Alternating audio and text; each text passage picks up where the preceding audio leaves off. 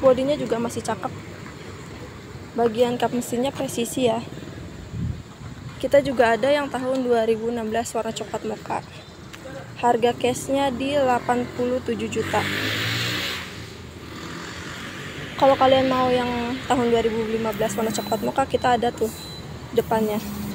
Warna coklat moka juga. Di sebelahnya ini udah terbooking ya unitnya. Nah yang terakhir ada MPV dari Innova tahun 2018 tipe tertinggi yaitu Venturer untuk keseluruhannya masih oke.